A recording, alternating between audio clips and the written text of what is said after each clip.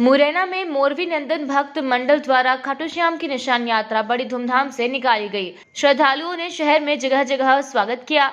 जानकारी के अनुसार मुरैना शहर के मोरवी नंदन भक्त मंडल द्वारा आज सोमवार की देर शाम शहर के जिवाजीगंज के अग्रसेन पार्क में तृतीय श्री खाटू श्याम कीर्तन गुणगान महोत्सव का आयोजन किया जा रहा है, जिसको लेकर आज मोरबी नंदन भक्त मंडल के सदस्यों ने सबसे पहले शहर के श्री बांकी बिहारी मंदिर से निशान यात्रा बैंड बाजे और ढोल नगाड़ों के साथ बड़ी धूमधाम से निकाली। ये यात्रा झंडा चौक बाज़ार, बड़ा जैन मंदिर, पंचायती धर्मशाला, नाला नंबर दो वंसारी बाज़ार, हनुमान चौराहा, सदर बाज़ार, ओवरब्रिज चौराहा, जिला अस्पताल एमएस रोड से होती हुई जिवाजीगंज के अग्रसेन पार्क पहुँची।